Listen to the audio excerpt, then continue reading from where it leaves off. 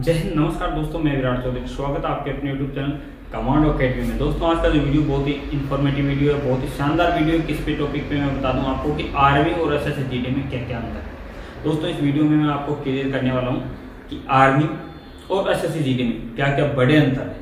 आपको पता है छोटे बड़े अंतर आपको पता होगा, जो बच्चे नहीं जुड़े हैं या जिन बच्चों को बिल्कुल भी नॉलेज नहीं है, जो टेंथ क्लास या ट्वेल्थ क्लास पास करके पहली बार तैयारी कर रहे हैं एस एस के, उन बच्चों को नहीं पता होगा कि आर्मी और एस एस में क्या क्या अंतर होते हैं। किसी को, कईयों को लगता है कि आर्मी सभी जितने भी फोर्सेस है, वो आर्मी है।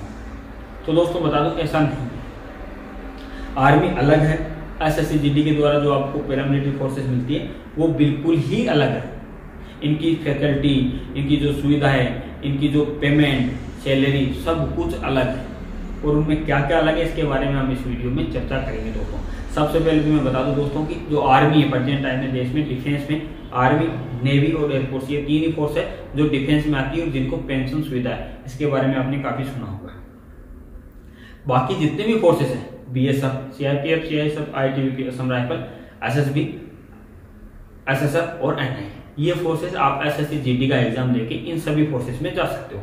आप सभी को बता कि आप सभी इन्हीं फोर्सेस में जाओगे एस एस का एग्ज़ाम दोगे इनमें से किसी न किसी फोर्स में आप ज्वाइन करने वाले हो। तो दोस्तों, आपके लिए जानना ज़रूरी है कि इन फोर्सेस में अगर आप लगते हो, कोई से भी पैरामिलिट्री फोर्सेस में, और आर्मी यानी डिफेंस में लगते हो, उसमें क्या क्या अंतर है बड़े? दोस्तों पेंशन वाला अंतर तो आपने काफ़ी सुना होगा कि इनमें आर्मी में पेंशन मिलती है, और इन फोर्सेस में पेंशन नहीं मिलती। लेकिन मैं बता दू पेंशन मिलती है इनमें मिलता है एनपीएस यानी नेशनल पेंशन स्कीम या न्यू पेंशन सिस्टम।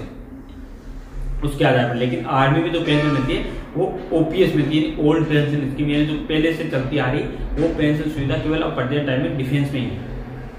डिफेंस में मतलब आर्मी, नेवी और एयरफोर्स इन तीन फोर्सेस में ही है।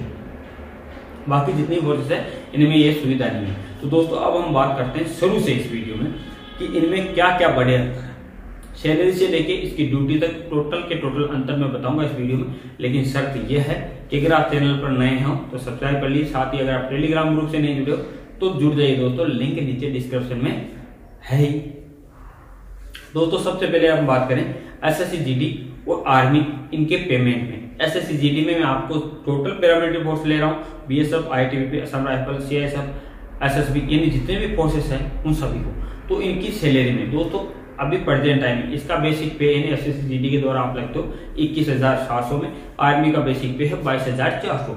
बेसिक पेमेंट में सबसे पहले हम बात करते हैं इसकी भर्ती होने से। आर्मी की जो डेट होती है जीडी के लिए वो 18 से 21 साल होती है, यानी साढ़े सत्रह से इक्कीस साल, जबकि एस एस में 18 से 23 साल होती है जनरल के लिए। ओबीसी एस सी की छूट मिलती है, जबकि आर्मी में इस प्रकार की कोई भी छूट नहीं मिलती। टेक्निकल के लिए तेईस साल तक एज है।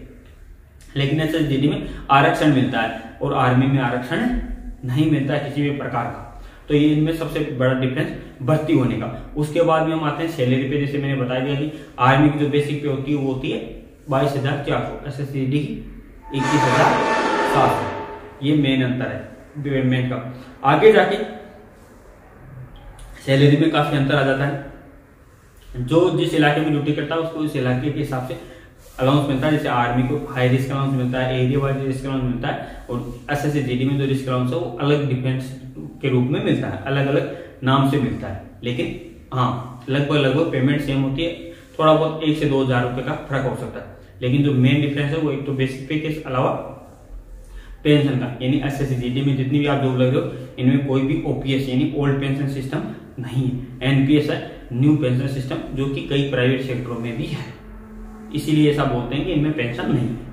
लेकिन पेंशन है, लेकिन वो कई प्राइवेट सेक्टरों में भी है ओपीएस यानी ओल्ड पेंशन स्कीम नहीं तो ये तो हो गया इनकी सैलरी का अब बात करते हैं सर्विस आप सभी को बता दूँ आर्मी में कम से कम सोलह साल आपको सर्विस करनी होती है, जबकि एस एस के द्वारा आप जिन भी फोर्सेस में जा रहे हो, इनमें कम से कम आपको बीस साल की सर्विस करनी होगी। ज़्यादा से ज़्यादा आप इनमें उनसाठ साल, यानी फिफ्टी नाइन ईयर की एज तक कर सकते हो, लेकिन आर्मी में ऐसा नहीं। अगर आप प्रमोशन नहीं लेते हो तो आपको सत्रहवें साल में रिटायरमेंट लेना होगा। अगर आप प्रमोशन लेते हो तो आपको तीन से चार साल प्लस मिल जाती है। यानी सोलह से उन्नीस या बीस साल आप सर्विस कर सकते हो। अगर आप प्रमोशन लेते हो, एक सिपाही रैंक से अगर आप जाते हो, लेकिन अगर आप इन फोर्सेज में सिपाही रैंक से जाते हो तो आपको कम से कम बीस साल की सर्विस और ज़्यादा से ज़्यादा आप पैंतीस, चालीस साल, यानी जब तक आपकी एज फिफ्टी नाइन ईयर ना हो जाए, तब तक आप इनमें सर्विस कर सकते हो, लेकिन आर्मी में ऐसा नहीं है।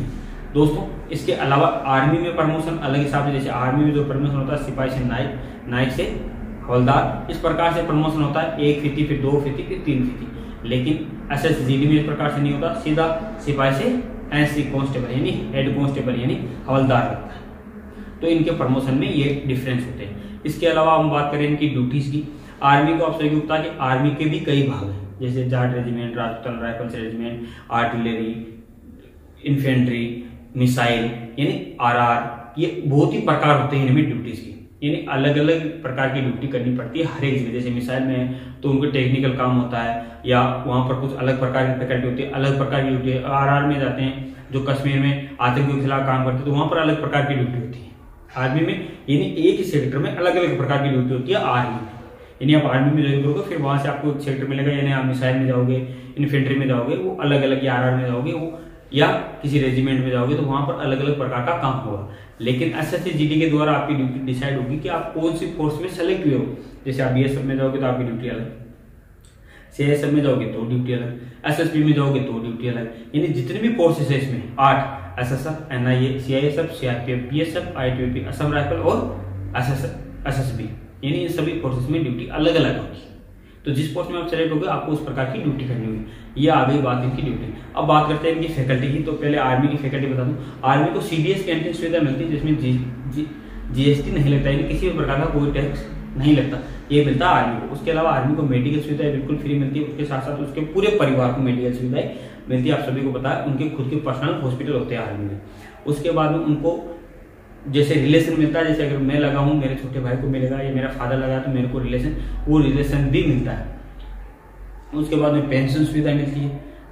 जितने भी आर्मी से रिटायरमेंट होते हैं, उन सभी को पेंशन सुविधा मिलती है। एक्स सर्विसमैन का कोटा और शहीद का दर्जा। ये बड़ी बड़ी फैकल्टी की जो अंतर है, जो कि एस एस में के द्वारा आप सभी को ये फैसिलिटी नहीं मिलेगी। इनमें से कौन सी मिलेगी, मैं बता दूँ। पहले एक बार फिर से बता रहा हूँ पेंशन सुविधा।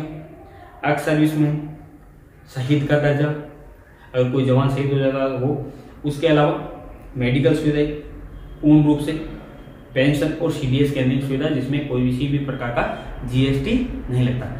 अब एस एस के द्वारा आप जो जॉब लग रहे हो, उनमें क्या क्या फैसिलिटी है, मैं उसके बारे में बात करेंगे। सीपीसी कैंटीन सुविधा, जिसमें जीएसटी लगता है। ठीक है? उसके अलावा मेडिकल सुविधा आपको बिल्कुल मिलती है, लेकिन स्पेशली किसी कोई प्रकार के हॉस्पिटल नहीं होते, बाहर के हॉस्पिटल होते हैं जिनमें मेडिकल क्लेम आप कर सकते हो, आपको पूरा पैसा डिपार्टमेंट देता है। मेडिकल सुविधाएँ पूर्ण रूप से मिलती है। पेंशन की सुविधाएँ नहीं है जो कि आर्मी में ओपीएस है, इनमें एनपीएस यानी न्यू पेंशन सिस्टम है।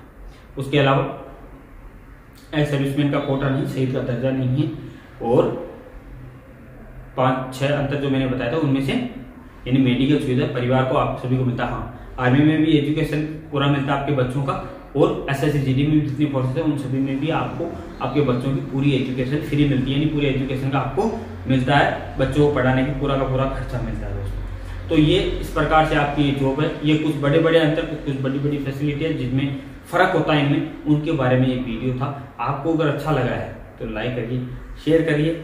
जय हिंद, जय